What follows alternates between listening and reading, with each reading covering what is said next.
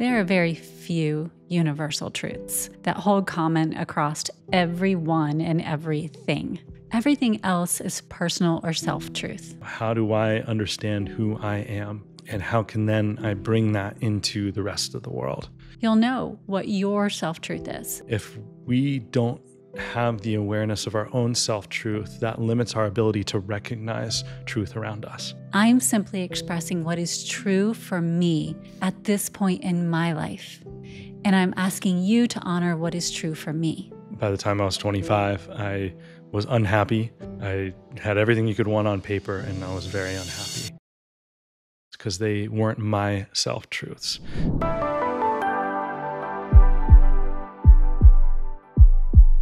The name of our organization, Suivera, means self truth. And it's just as relevant now as it was when we came up with it.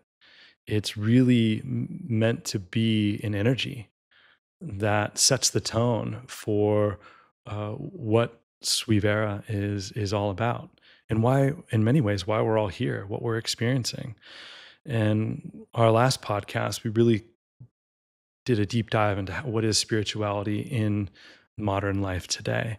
And I feel like this is a great segue into uh, self truth because they really go hand in hand. Yeah, completely.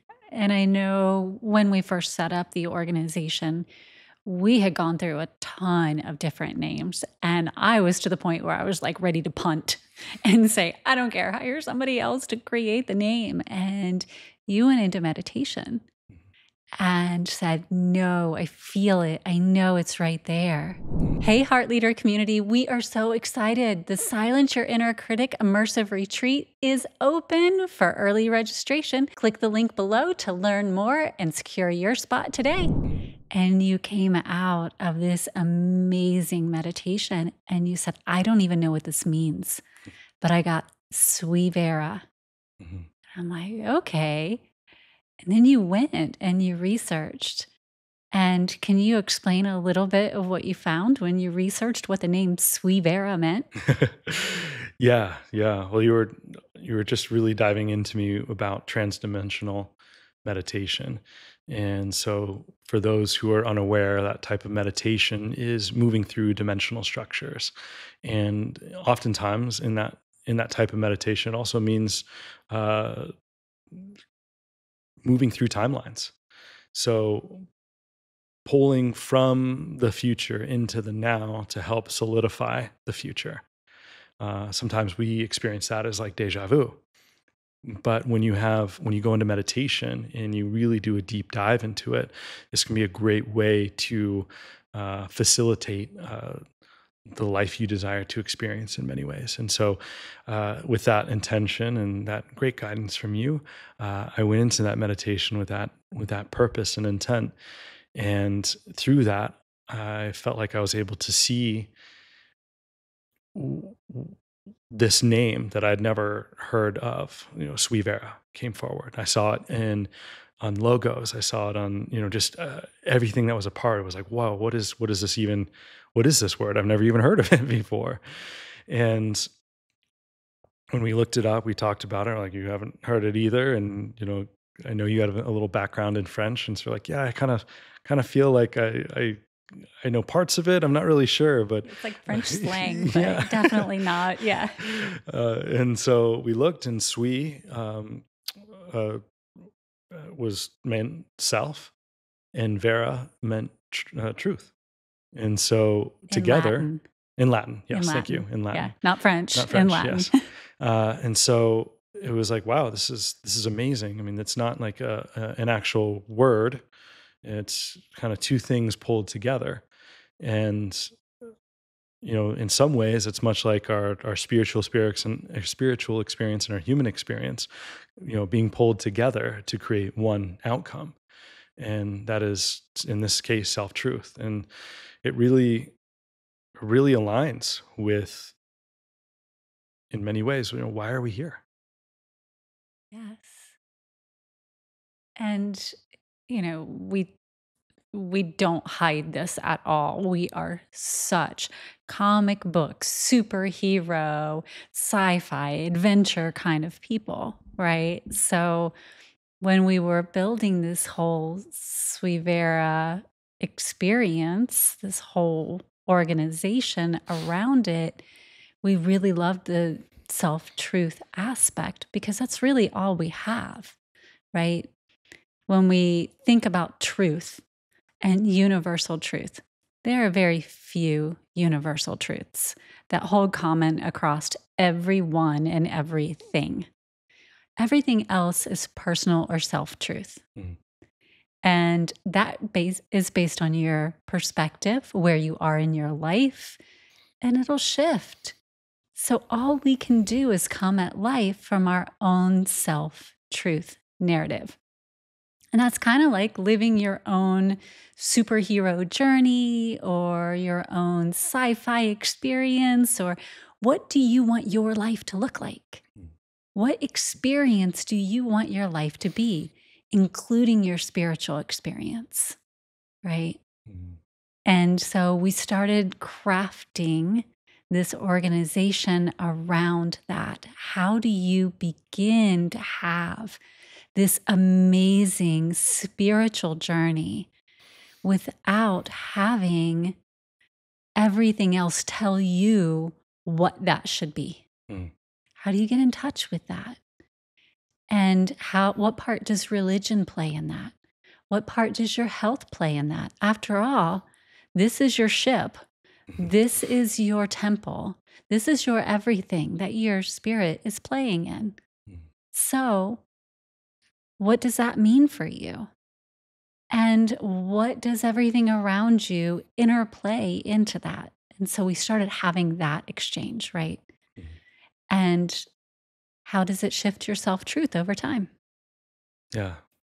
And self truth uh, in a world where truth almost feels elusive, we are getting so many different types of truths. It could be real truths, it could be mistruths, it could be you know totally you know made up you know just it's it's you know it's different levels of what truth is it's it's it's daunting to to look out and you know if you if you want to understand something in the world you look out and you start kind of googling it or researching it and all of a sudden there's all these articles on why it is why it isn't why it's in between you're like well mm. what what do i believe and now I'm going to quote Morpheus, right? yes What is real? what is real yes exactly i love it this goes back to the whole sci fi aspect. yes What is truth? Yes. What is real? exactly Is there a spoon? They- this is these are great questions and part of the internal discovery and you know we often talk about um, like in our previous podcasts about uh, relationships and we talked about how um, our limitation of our compassion to ourselves limits our ability to have compassion for others right I feel like that also follows suit when it comes to truth. If we don't have the awareness of our own self truth, that limits our ability to recognize truth around us. And so that's why this is so vital to how we approach Suivera and spirituality as a whole. You know, we we talked about in the last podcast how it's a, it starts from within. It's an internal experience moving into the external what's the best way to build a strong concrete foundation it's on building self-truth you know how do i understand who i am and how can then i bring that into the rest of the world like what is truth for me Yeah. And even a heart leader, Yeah. right? You, it's challenging to lead from the heart center if you don't know what's in your own heart. Yeah. And it's challenging to get to that place if you don't have tools or resources to know how to get back there.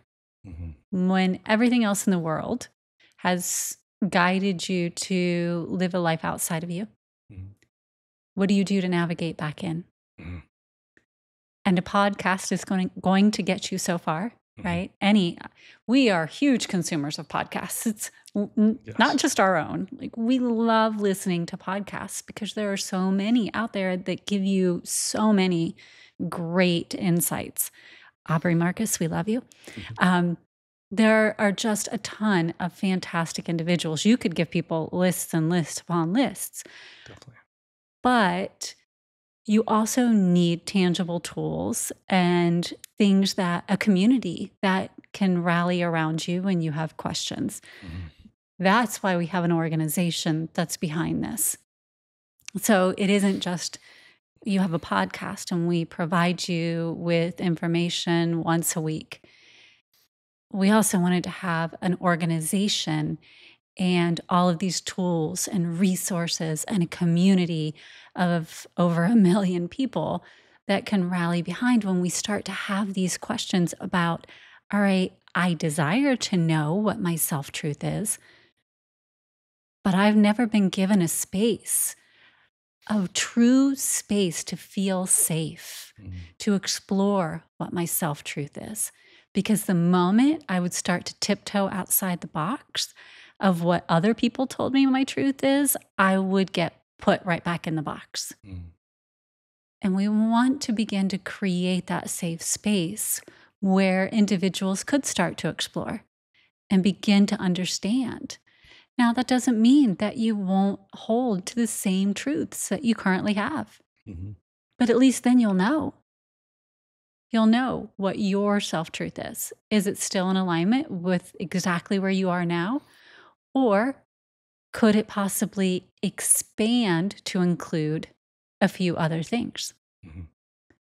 whether that be in your spiritual quest, whether that be in just awareness of new boundaries that you may desire to hold, whether that is in what you like your physical form. Maybe you enjoy yoga and you never knew that. Maybe you're looking at a different nutritional approach and you never knew that. There are all of these things that we can begin to explore and expand when we start coming together with people from all over the world Mhm. in a community of like hearted individuals. Yes. So well said. It's, I know I felt like I, I grew up and society around me was constantly telling me who I should be, how I should act, what I should do. And this is what it looks like to be a quote unquote successful man. Mm. And eventually, by the time I was 25, I was unhappy. I had everything you could want on paper, and I was very unhappy. And I was never an unhappy person.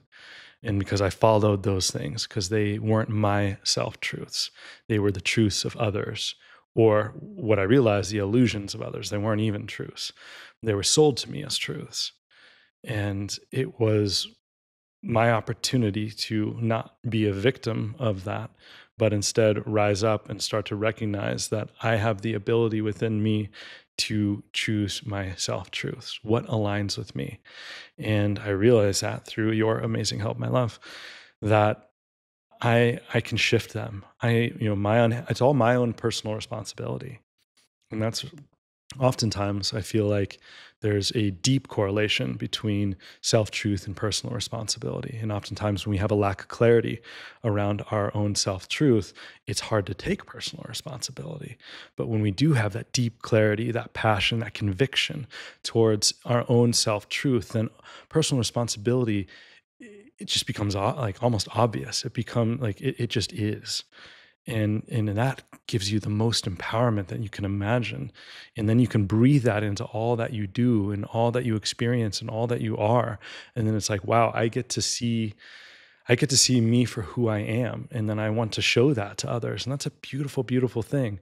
And in return i start seeing that others are, are who are on that journey as well. And i got to be like whoa like i'm seeing you at a whole other level Yes. and like that's exciting like i get to see my friends who have been around forever and i get to get to see them grow and expand and and become closer to that like that's awesome because they're experiencing their self truth and then we can align in those self truths and and expand each other it's like whoa so uh, and, and that's something we do in our relationship that's been extremely helpful in keeping us so tied and we would say our, our 10 years in our honeymoon phase Yes. And it's interesting. It's that safety we need to feel, though. Yeah. And if we don't have that place where we can feel safe to start asking ourselves those questions. Like for me, that was a huge part of it. And a key reason why, you know, before we started Suivera and we started the Heart Leader podcast, I had an organization that was somewhat similar, just not as expansive as once you came on board. Like, again, we started, we expand. When we feel safe, we expand. Mm-hmm.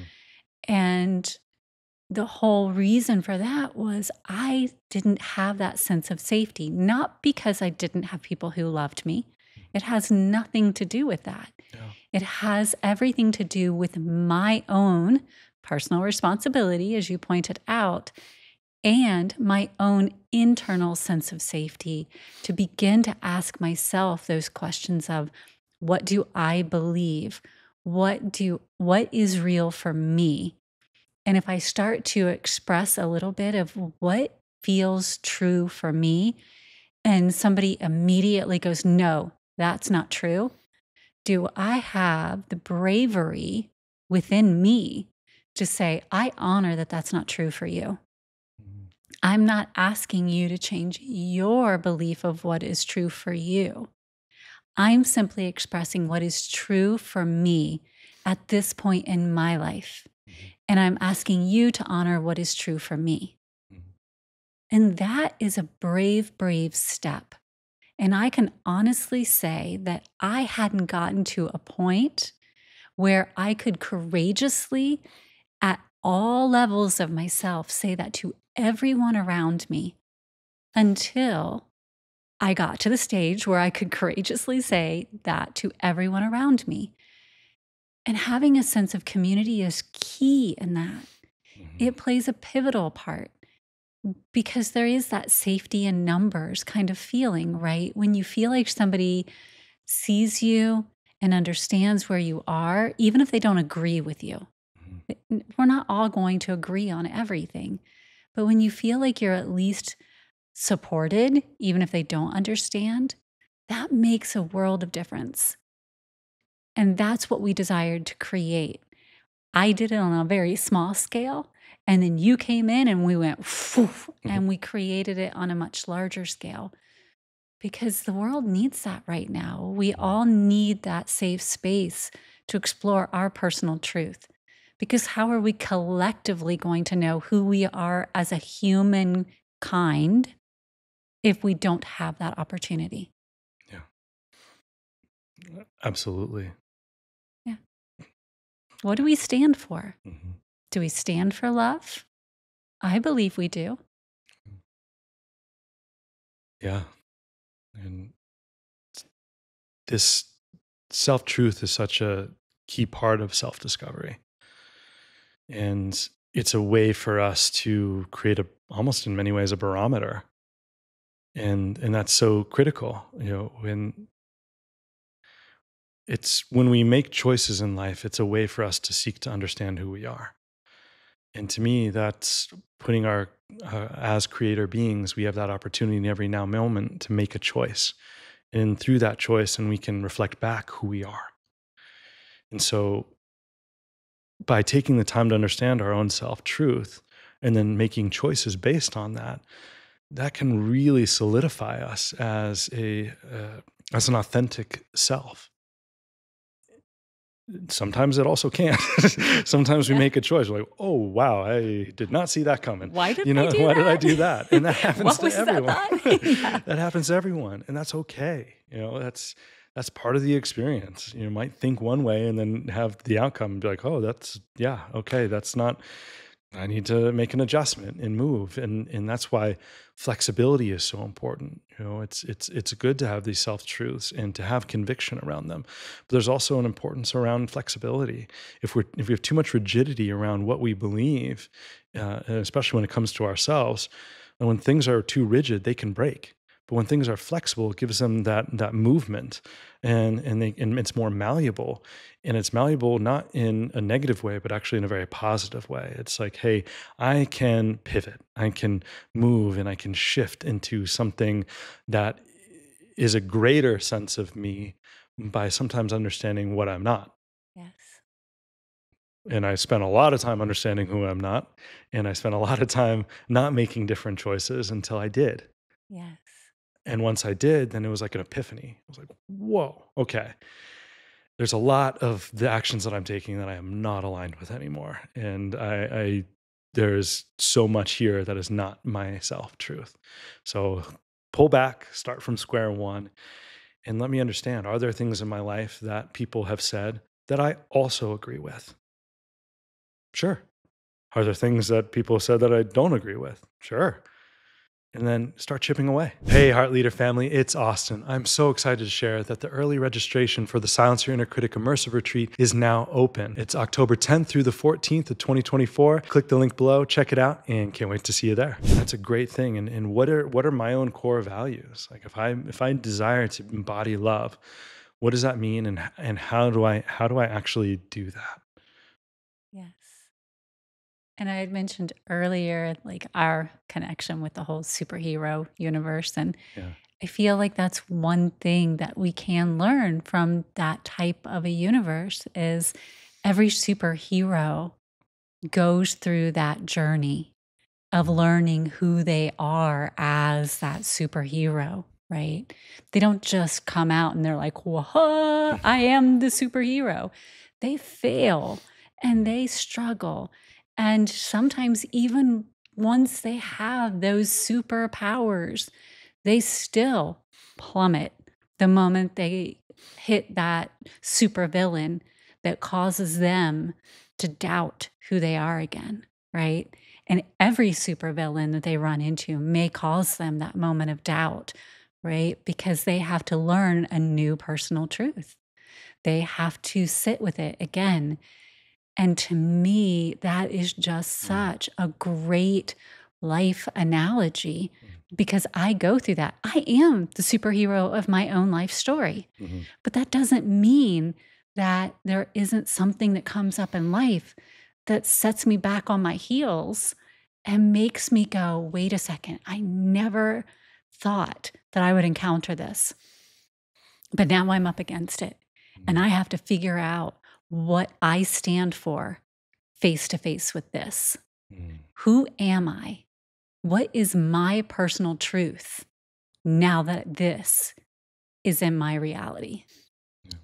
And when we can begin to look at ourselves, whatever your version of that is, like for us, it's that, right? mm, But whatever your version of that is, we like to think of, you know, our Suivera, the organization we have, is kind of our own little shield, right?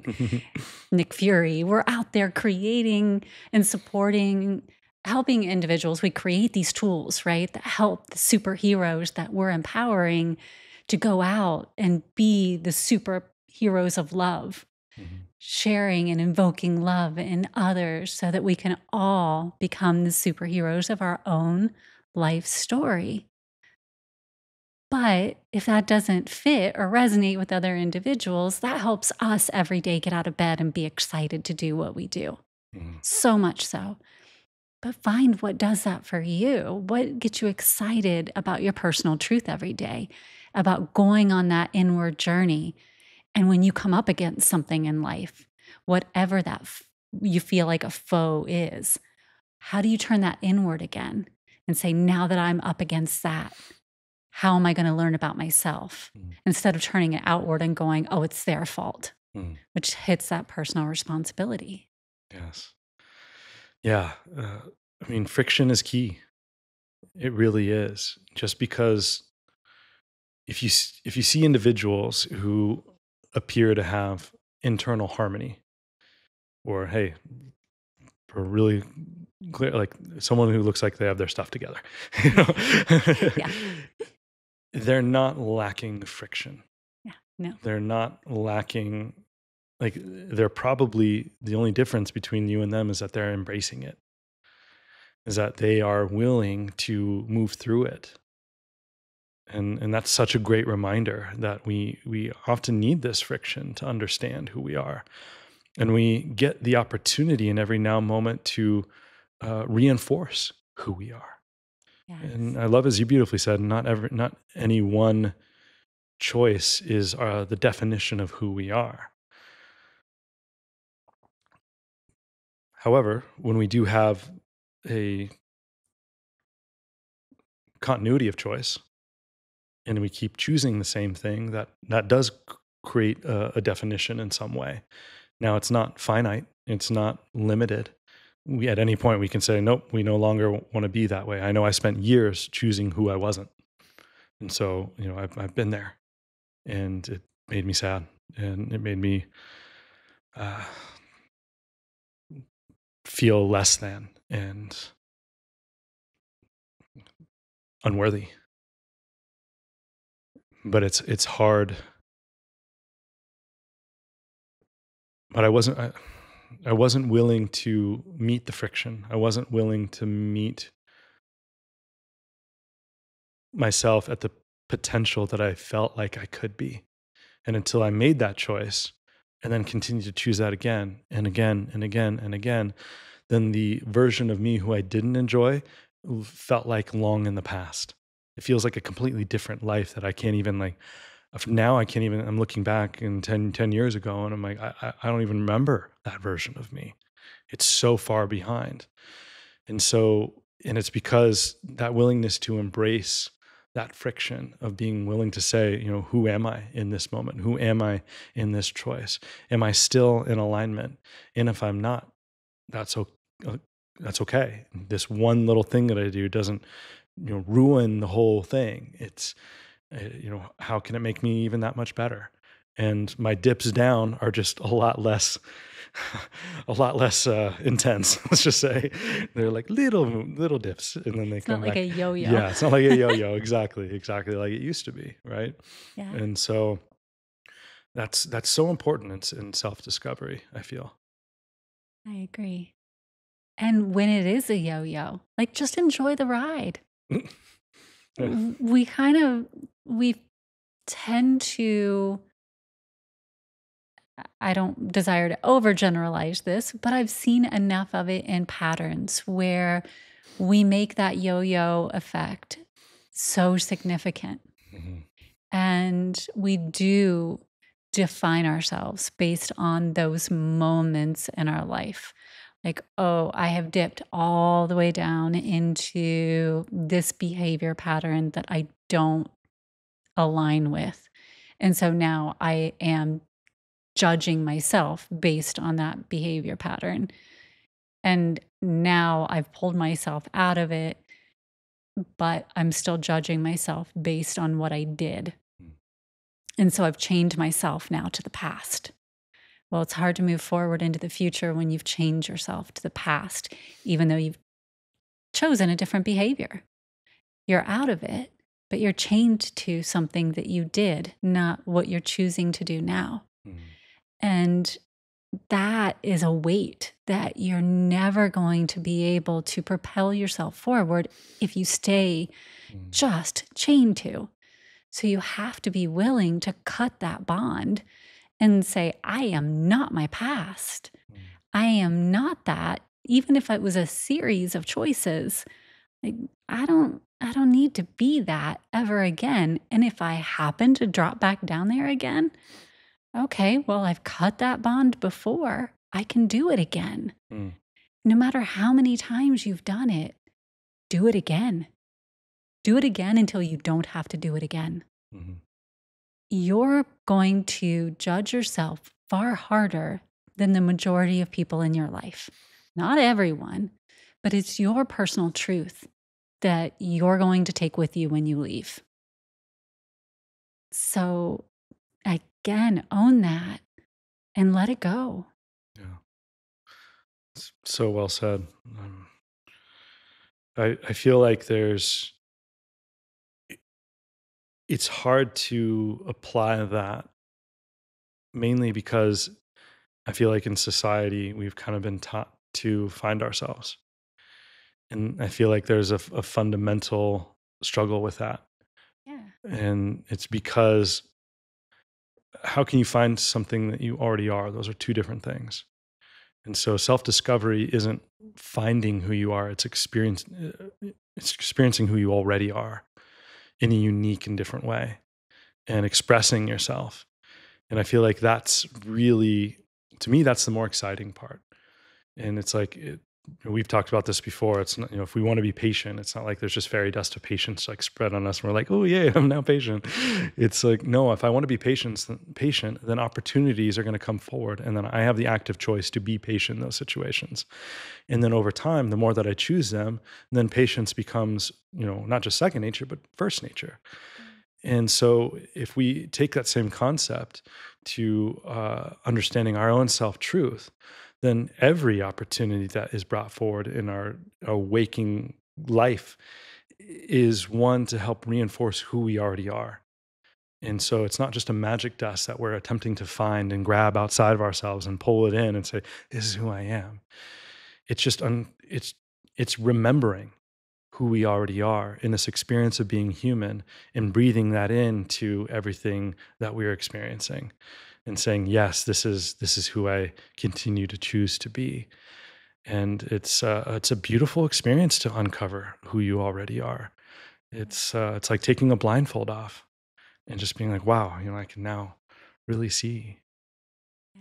The only way i could see personal discovery being like uh, something other is if you look at it as though you're an archaeologist internally mm-hmm. and you're going on an internal dig, right? Mm-hmm. And uncovering things that have always been there. You just covered it up with so much crap. yeah, right. Like and so now you have to go in there with your little tools and just uncover all that you've covered it up with. Yeah. But you're right, it's always been there. Mm-hmm. It's not as though you suddenly are like, I don't know, I just grabbed it from out here and brought it in. That's not personal discovery, that's personal growth. You're adding to yourself. Mm-hmm. But discovery means that there's already, it's been in there. Mm-hmm. You're just rediscovering the fact that it's in there and you're awakening it again. Yeah. So be the archaeologist, right? This is your Indiana Jones moment. Yes. ah, I love it. But personal truth is personal. And this is another one of my big things in my own life. The fact that it's personal means to me that I have to be highly mindful of not then taking it and attempting to make many versions of my personal truth in everyone else around me. That is the quickest way of alienating the people that I care about the most. And it is a trait that I see very common. We, especially in the key areas of religion and politics and not that we intend to. I, I don't see intent. It is habit. Mm-hmm. And when mindfulness isn't applied to habit, like we like being around people who are like us, it is an expression of care and love, right? Mm-hmm. This means a lot to me. I love you because it means a lot to me and I love you. I feel it's important that I share this with you and you get the same out of it that I do. So I do feel strongly that when this happens, people do have, not everyone, but most people have a pure intention of, I'm getting so much out of this, I desire to share it with you. Mm-hmm. But your experience of it may not be my experience of it. And so if I suddenly go, okay, this personal truth is so amazing to me, let me make you a mini version of me, mm-hmm. then what I'm doing is stifling your personal truth in honor of my personal truth. Instead of saying, Austin, what is your personal truth in this area? Express that to me. And if you don't know, then maybe go on an archaeological dig in this area mm. and uncover it for yourself. And then once you know, share it with me and let's find out where they intersect. Mm-hmm. Right? Yeah. I mean, that would to me, that completely transforms the whole process of self discovery. It, you, you beautifully say that all of humanity is independently dependent. And this allows, to me, this is in alignment with that. Like what you're talking about is very much in alignment with that. It allows for a safe, collaborative experience while honoring the individual experience as well. Um, and they might align. I mean, through that process, you might like, there are things that you have said. And when I took the time to understand within myself, I'm like, wow, you know, I, I really, I agree with that. Like I feel that to the very core. Like it feels innate in, in myself as well. Awesome. Like that's, but that's still my choice. Yeah. And I can choose not to in any moment. But for me, it's a truth. So I feel very connected to it. And and through that we can we connect at a deeper level. That's and that's a beautiful thing. But I think you're hitting on a really good point here. Then, and this is something that we seek to do even through this podcast, is that we're not here to tell anyone how to be or what to do, or you know, any of this advice is not necessarily like something. It's our own personal experiences, and and we're in the process of just seeking to share.